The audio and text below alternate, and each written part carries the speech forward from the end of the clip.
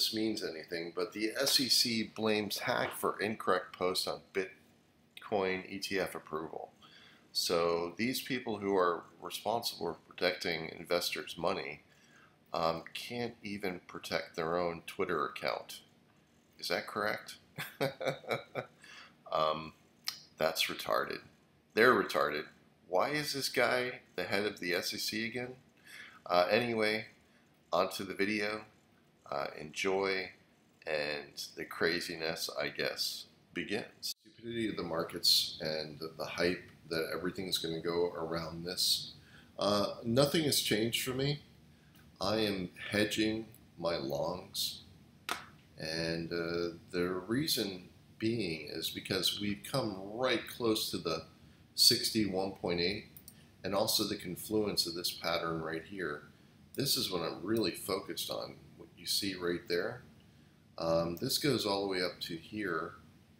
Um, so I'm expecting probably a spike tomorrow up, we get approval, and we spike up, and then drop back down and get back to these 38, the upper 38K level and, and under. Uh, that's basically what I'm looking for. And we'll see if that happens. Um, and I'm mostly just looking to uh, hedge short because of all the buys that I had on this drop. If you remember um, from where I exited my shorts, and I was short like 60% at one point. And um, yeah, so I exited here and then I started buying heavily and I doubled up and then doubled up again. So I my percentages went way high. Um, so when you own like five to six times of what your original investment is, uh, you're kind of putting it out there. And I kind of did that. And that's fine because look where we are. We're all the way back up to this level up where I was originally shorting this whole zone. And we've got a confluence um, that goes from the 172.8 to the 200%, which is around 50,000. And all the way from the 48, the uh, 48, I guess that's around the mid 750s, somewhere in that range, around 48, 800, let's say. Um, and we're really close to this. Now, what I did is I added the 5% short, so 35% is what I'm hedged short against my position. And what I'm really doing is just locking in the profits that I had from down here. Um, you know, I'm just playing it safe.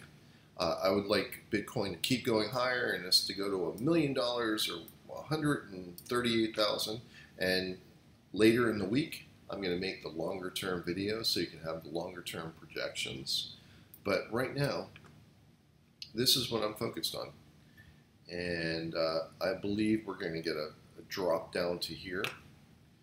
You know, I just think we're going to, let's do a trend line. We're going to get a fast drop down here to these levels down here. And maybe a spike back up and then back down. And ultimately, I think we can go all the way down here.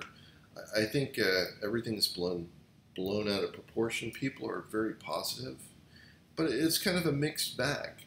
I can't tell and I'm looking at the volume and I see one thing on one side and something on another and it doesn't make any sense. It's kind of confusing.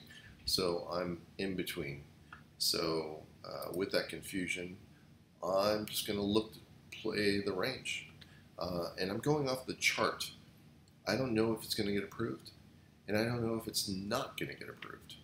Uh, I mean, I can make arguments both ways. But then I go to the chart. What what's my downside targets? And uh, they exist all the way from here, all the way down to here, all the way down to here. So that's what I have to focus on. Um, people told me about GOV uh, or um, Canoo yesterday because it had a spike up. And obviously, uh, that didn't last, did it? Let's look at that. see the volume right here? Spikes all the way up and then spikes all the way down. Now this is misleading. Um, this could be real buying right here. There's no real volume, so it's very easy to manipulate. So they spike it up and then uh, spike it back down, and that's really buying. Even if you think that it's not, that spike up means something. That's where the um, the fire was, and that's a big indicator. Um, so again, very positive. I don't mind holding this one. I only own a few percentages of it, so it's like no big deal. But I'm not going to do anything with this, and I'm not going to even talk about it until we're up to here, which is look at that, right in the 140. So on a percentage basis, you calculate it any way you want. There's nothing to do with Canoo, but waiting for 140 for you, and that's all there is to it. Uh, so that's what I'm doing. Um, now, there was one ETC. I had another person, I have had several people ask me about this, and nothing has changed about uh, Ethereum Classic. I don't know what you want me to say. Uh, it was a great buy down here in the mid uh, 15. This is the range. This is all the way down to uh, around 12 and a half, uh, all the way back up to 17, almost 18 dollars. Uh, this whole range was what you were looking for to buy it in, and your target is nothing less than the uh, 43.50s. So I'll revisit this one, but it's not going to change. Uh, this is what you're looking at as your minimum target. Minimum, okay? Your higher end targets would be all the way in the 60, the mid 60s, but your minimum target would be in the low 40s, in the 43, uh, mid 43 range. So, you know, uh, the nice thing is it broke its downtrend line and it did that quite a while ago. It did that back in October. So it's been meandering and building positive numbers. And I don't want to talk about it, kind of like Canoo. I'm not interested until you show me the the uh, the move to the the upper end of the, the numbers, and this is what I would look for. Um, uh, what other things are out there? Silver, I'm not going to really talk about. That's positive. I know all of this looks negative right now and blah, blah, blah. Not interested. Show me numbers that go all the way up to 56. Uh, short term. Here we go. Oh, not 56. What do I think I have? Uh, 52. The, the mid 52 range. So, um, you know, and then 36 but I, I, I don't even want to even talk about it until it gets up to these numbers because this is ready to go. Uh, nothing to think about technically. It's it checked all the boxes. I just got to wait. Um, uh, what other ones were of interest to people? Uh, Ethereum, nothing to do here. Uh, I'm not going to even add to my shorts like I did with Bitcoin because it's not a number. The only numbers above are 2,700. And if I'm not close to there, I don't care. Uh, so I won't sell anymore until it gets to this area up here. Uh, it's lagging. And uh, so is XRP. XRP is just like blah. Has this down spike that sucked all the air out. Um, nothing to do. So I'll just leave these ones to ride. Uh, this was the range I was looking from here and then up to here. At some point it's going to get to the back to the mid 80 cent range. It's got to go over and fulfill this pattern after it hit here. And that's what I would be looking for. I've had plenty of trades on it. I don't have to tell you. This is kind of really old hat and I just traded it over and over again.